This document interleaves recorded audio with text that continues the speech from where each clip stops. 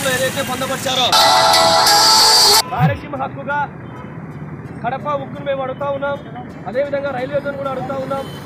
ఈరోజు వెనకబడిన ప్రాంతం రాయలసీమలో కృతకలకు రైల్వే జోన్ ఇస్తే రాయలసీమలో నిరుద్యోగులకు ఉద్యోగ అవకాశాలు కలు ఉద్యోగ అవకాశాలు ఉంటాయి. అదేవిధంగా కడప ఉక్కు పరిశ్రమ ఏర్పాటు చేస్తే ఈరోజు రాయలసీమ నిరుద్యోగులు కూడా ఉపాధి అవకాశాలు ఉంటాయి.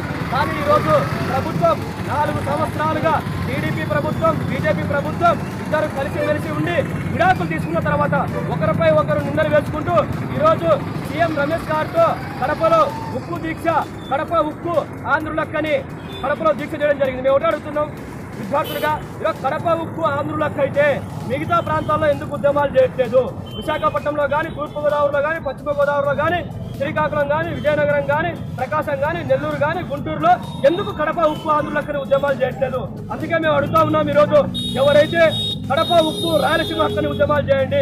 అరవై విశాఖ ఉక్కు ఆంధ్రులక్కన్నా విశాఖ ఉక్కు కోసం ఇదే రాయలసీమ గడువు. తొమ్మిది మంది చనిపోయినా విశాఖ ఉక్కు కోసం ఉద్యోగాలు రాలేదు. అందుకే ఈరోజు కడప ఉక్కు రాయలసీమ హక్కని పోరాటం చేస్తా ఉన్నాం. ఈరోజు విద్యార్థులు అందరూ కలిసి. ఖచ్చితంగా భవిష్యత్తులో బీజేపీ ప్రభుత్వం కానీ టీడీపీ ప్రభుత్వం కానీ రాయలసీమను అన్ని విధాలుగా మోసం చేస్తూనే ఉంది.